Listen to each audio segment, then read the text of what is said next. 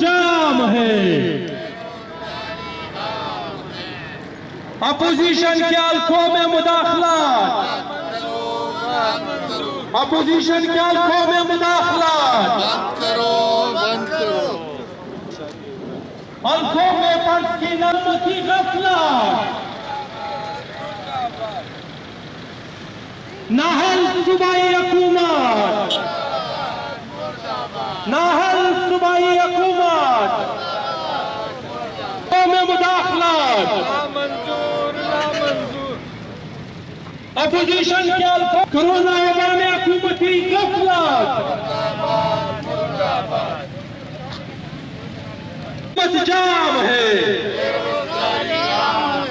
नाल सुबाई हुकूमत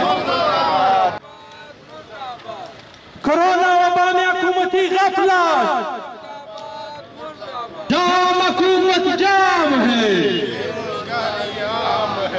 जाम हुकूमत जाम है नाहल सुबाई हुकूमत नाहल जाम हुकूमत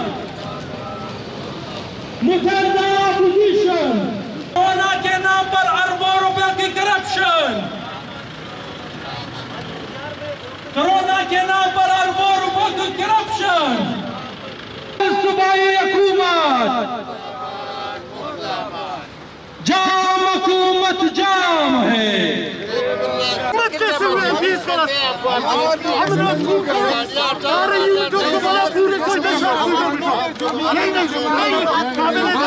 कैसे हुए बीस का हम रसूल सारे को पूरे कोई देश नहीं नहीं नहीं काबिल सारे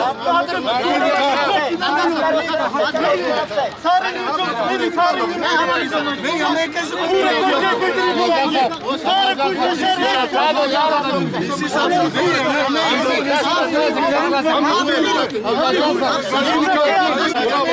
कुछ सारा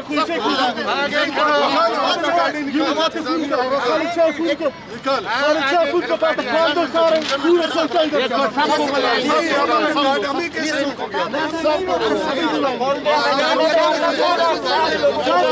सरिया रोड भी ब्लॉक होएगा कुछ लोग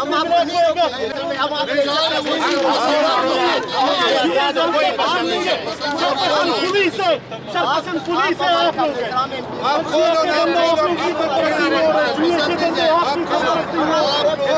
पसंद ना आए आप लोग से नहीं कह सकते आप लोग हमारे लिए भी आपको आना होगा शेख हसन हमारे साथ आएगा। रहे हैं। आपको हमारी ताकत का पता है। एक मासूम का आप हमारे लिए शराफत है।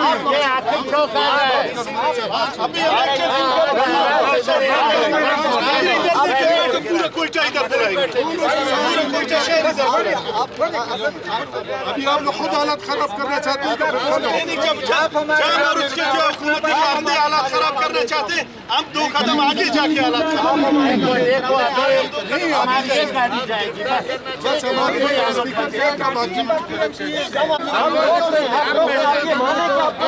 स्पीकर क्या का बाकी हमारे सरकार कौन है आप देखें हम सिर्फ़ एम पी हैं यहाँ पे। एक बार का बंदा आप दिखाएँ। हमारे भाई हैं काफ़ी तरह हमारे बुज़ुर्ग जिनको रोकना है वो तो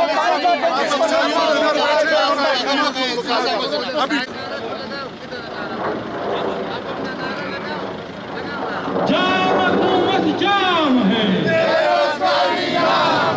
जाम हुकूमत जाम है अपोजिशन के अल्फों में मुदाखला नाहल सुबाई हुकूमत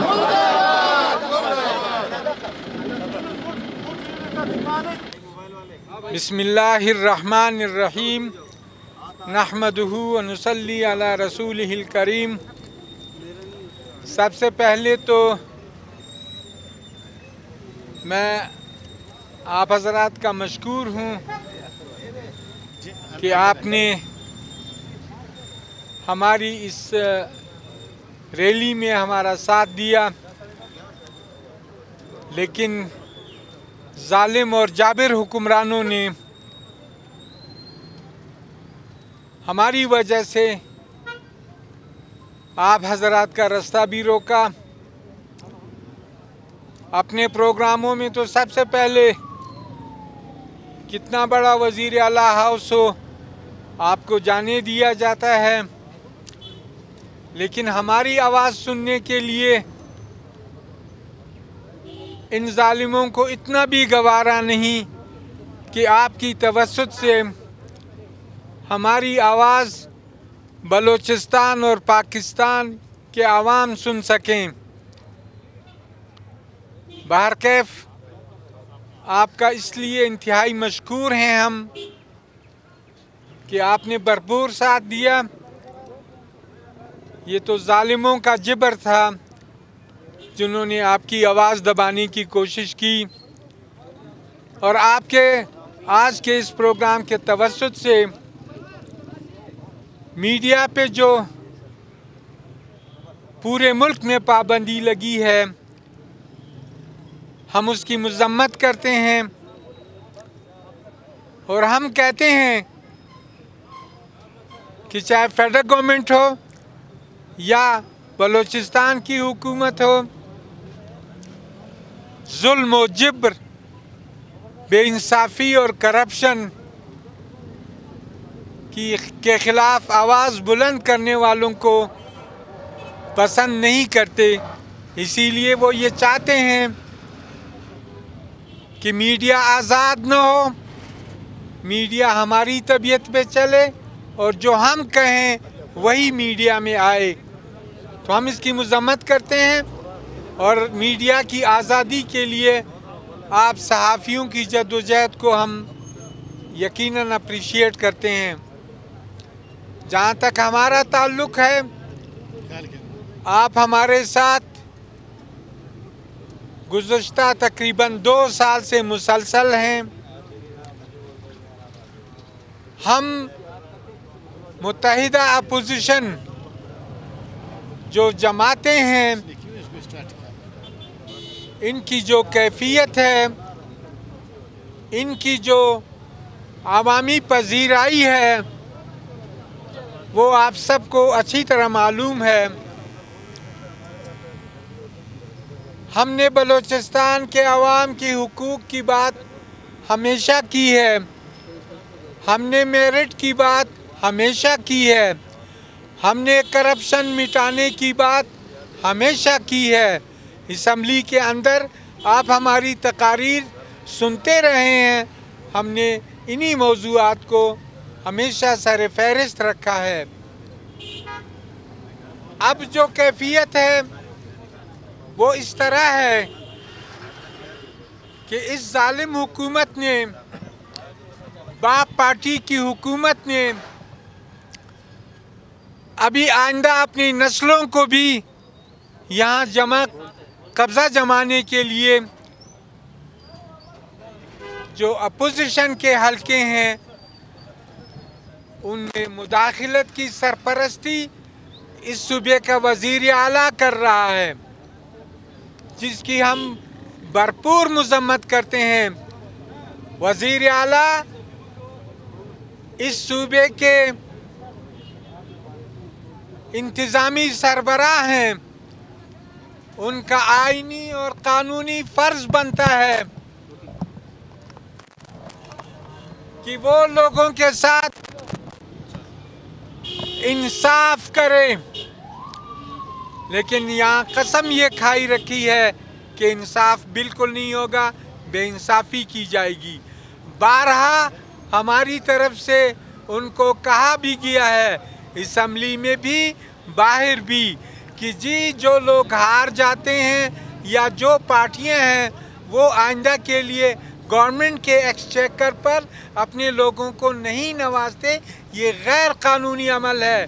गवर्नमेंट के ख़जाने पे किसी पार्टी को पजीराई देना गैर आइनी और गैर कानूनी है, लेकिन अभी तक इस पे कोई अमल नहीं होता।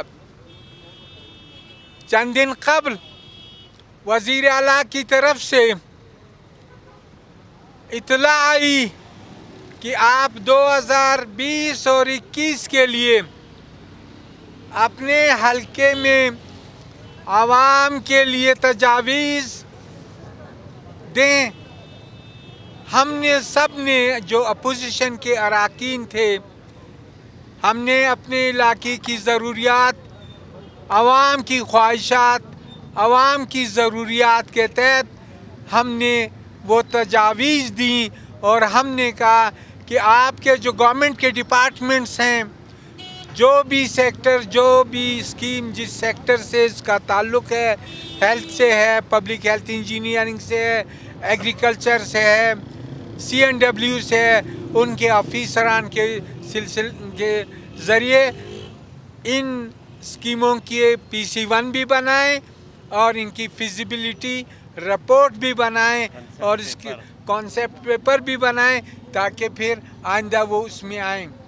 लेकिन आज दस तारीख है अभी तक उन्होंने हमारे जो हमने तजावीज़ दी हैं उनके कहने पे उस पर अभी तक कोई कार्रवाई नहीं की है। इसी तरह कोरोना से मुतलक हमारे साथ इस वज़ीर अला ने इसम्बली में आकर आप सब इसके गवाह हैं।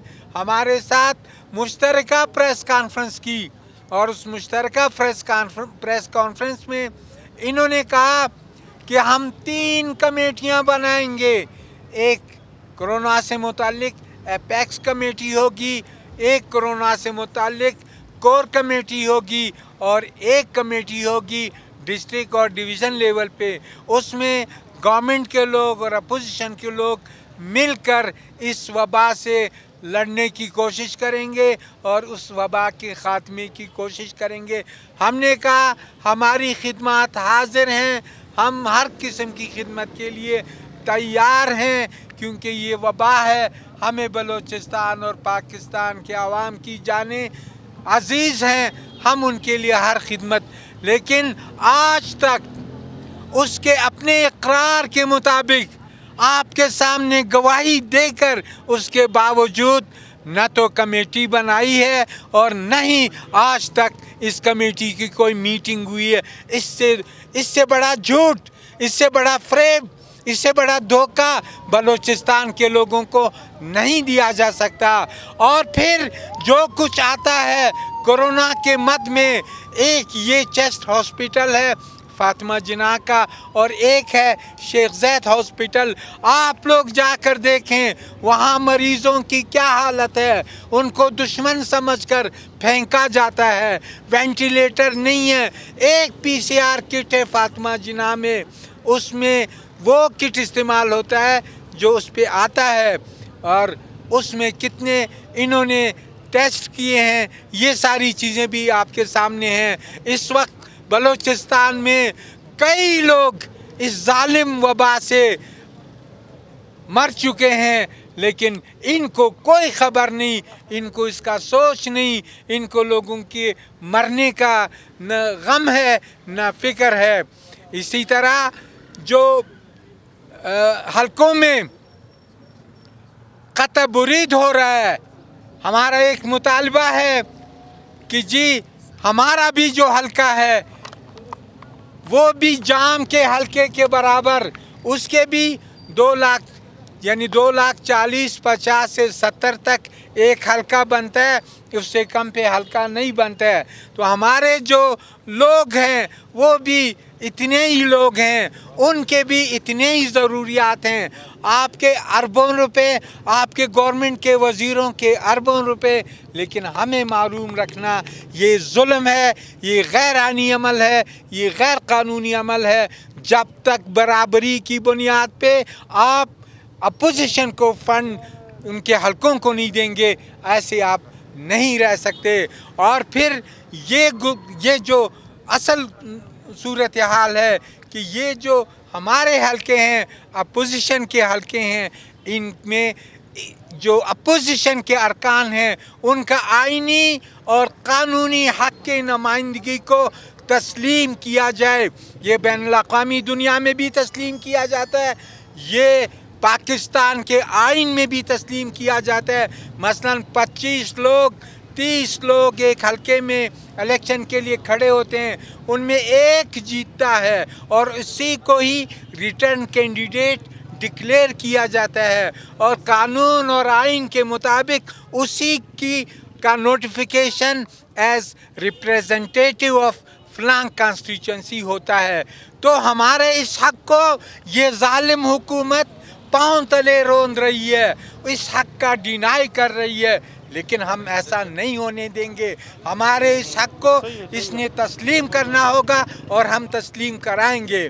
तो अगर आज के हमारे इस मुदबराना एहतजाज पे कोई कदम नहीं उठाता तो हमारी अल्हम्दुलिल्लाह सुम अल्हम्दुलिल्लाह हमारा पॉलिटिकल फोर्स है जमीयत उलमा इस्लाम एक मुसलमा सियासी क़ुवत है। बीएनपी एक मुसलमा सियासी क़ुवत है। पश्तूनख्वा मिली अवामी पार्टी एक मुसलमा क़ुवत है। हम इनको भी लाकर इस वज़ी अला के, इस गेट पे लाके एहतजाज करेंगे।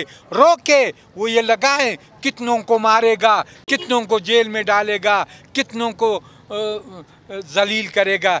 कुछ भी नहीं कर सकेगा। जब आवाम का सैलाब आता है तो फिर ये लोग बह जाते हैं।